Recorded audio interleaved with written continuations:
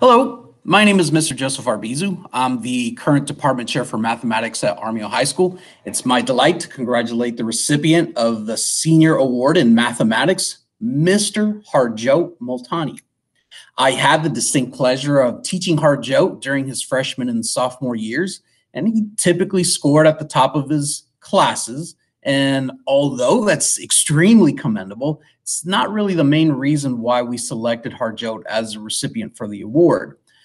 What we found most inspiring about Harjot was his, and still is, his intellectual curiosity for mathematics and STEM in general, coupled with his perseverance in working with the most demanding and challenging problems.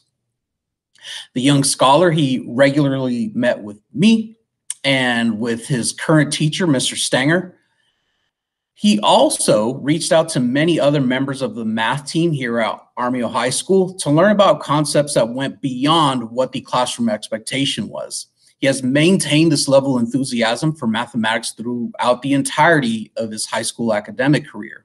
And I do not doubt that he will continue this in his future academic as well as his professional endeavors.